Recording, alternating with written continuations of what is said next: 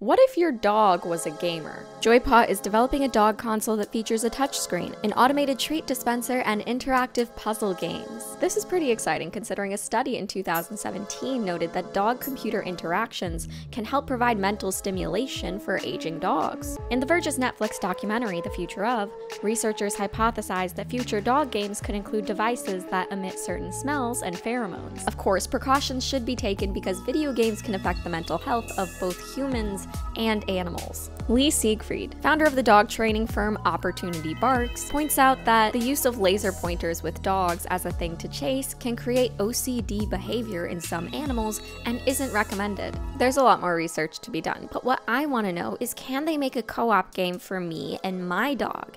I don't have a dog, but if I did, instant duo.